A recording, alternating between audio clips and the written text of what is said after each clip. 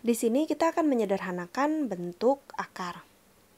Yang pertama, yang A adalah akar x kuadrat plus 2x plus 1.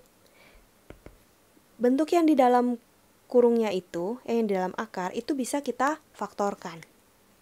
Kita lihat, berapa dikali berapa satu, jadi di sini kan tetap x, ini x. Kita lihat ini berapa kali berapa satu.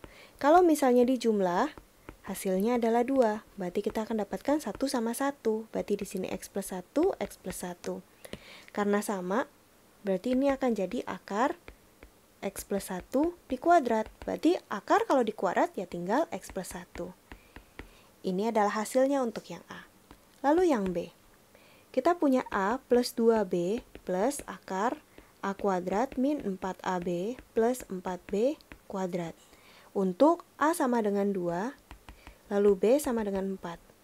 Kita masukkan, berarti jadinya adalah 2 ditambah dengan 2 kali 4 ditambah dengan akar ini 2 kuadrat min 4 kali 2 kali 4 ditambah dengan 4 dikali 4 kuadrat. Berarti kita dapatkan 2 ditambah dengan 8 ditambah dengan akar, ini jadi 4, lalu dikurang dengan 4 kali 2, 8, 8 kali 4 berarti 32, ditambah dengan 4 dikali 4 kuadrat, jadinya 64. Berarti kita dapatkan di sini 10 ditambah dengan akar 4 dikurang 32 ditambah 64, jadinya adalah 36.